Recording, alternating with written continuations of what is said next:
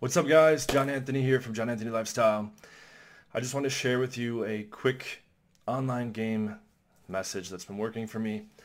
I don't like the whole back and forth because what I found is when you have a whole bunch of back and forth with a chick, the odds of her dropping off go up. Why is that? She's getting flooded and inundated with messages from tons of dudes. Okay, so you only have these brief periods to interact with her.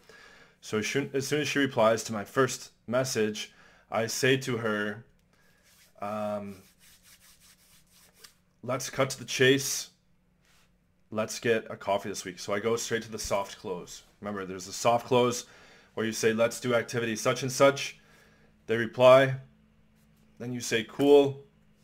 Let me grab your phone number. We can plan something over text. It's easier to plan something over text. Let me get your number. Then over text, boom, when are you free? So my Tinder messages or my Bumble or Hinge messages are typically just going opener. She replies. Let's cut to the, the chase. Let's get a coffee done this week. She replies. Cool. Let's plan something over text. It's easier. What's your number? And then, boom. You have a date set up. Okay.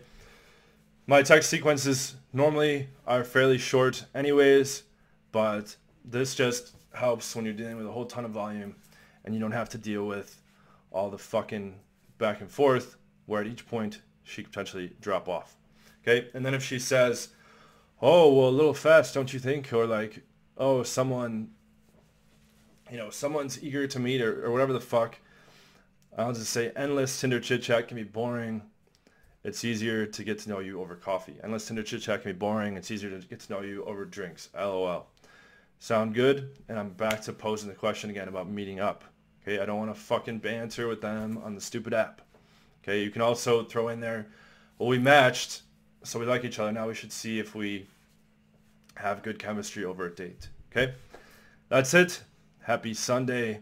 Christmas is approaching. Remember to hit me up at johnanthonylifestyle at gmail.com if you're interested in joining a bootcamp. This is the last couple months I'm running live programs personally. And thank you guys. I will see you on the next video. Oh, RIP Squat and Casanova.